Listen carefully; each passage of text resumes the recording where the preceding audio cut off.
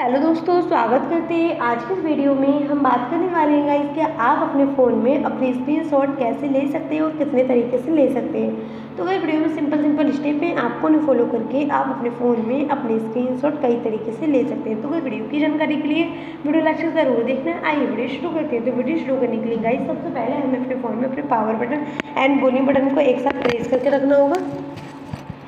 तो आप अपना पहला स्क्रीन इस तरीके से ले सकते हैं। अगर आपको दूसरा स्क्रीनशॉट लेना है तो आप पहले अपना power button and volume button को एक साथ प्रेस करके रखेंगे। इस तरीके से।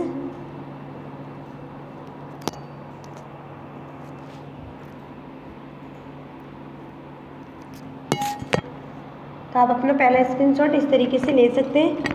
अगर गाइज़ आपको अपना तीसरे, दूसरा स्क्रीनशॉट लेना है तो उसके लिए यहाँ पर आपको ये वाले बटन का ऑप्शन देखने को मिल जाता। है तो इस तरीके से आप इस पर क्लिक करेंगे।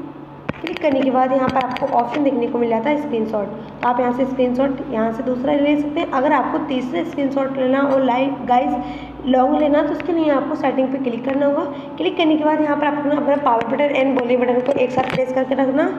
यहाँ से जब आप अपना स्क्रीन ले ले लेते हैं यहाँ से तो यहाँ पर आपको स्टॉल का ऑप्शन देखने को मिल जाता है।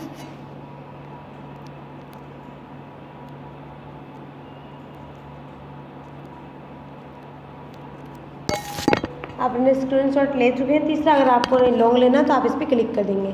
आप जितना लॉन्ग स्क्रीन लेना चाहते हैं तो आप ले सकते हो। तो इस तरीके से आप अपने फ़ोन में अपने स्क्रीन कई तरीके से ले सकते हो। तो वह वीडियो पसंद आई हो तो शेयर करें लाइक करें। चैनल पर नहीं हो तो चैनल को सब्सक्राइब करें। मिलते हैं अगली नेक्स्ट वीडियो में। तब तक के लिए bye bye and take care